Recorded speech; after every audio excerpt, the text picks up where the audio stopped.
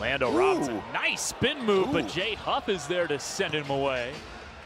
Jay Huff an open yep. three. A great start from Mr. Huff so far this afternoon. People very high on this guy. And that one a little short, but there's the put-back flush for Jay Huff.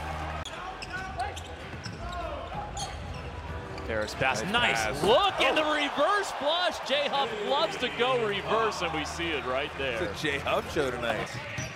Smart Euro stepping and getting it wiped away by Huff. Nice. Wow. Nice. Beautifully done. Another reverse off the alley-oop.